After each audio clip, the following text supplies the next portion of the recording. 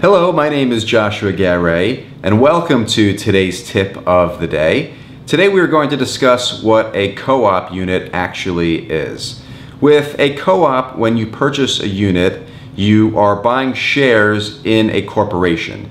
So unlike a condo where you own specific title to a unit in the building, with a co-op you're purchasing shares in a corporation and depending on the size of the apartment, perhaps the height of the building, perhaps the views that the apartment may have, your shares may vary.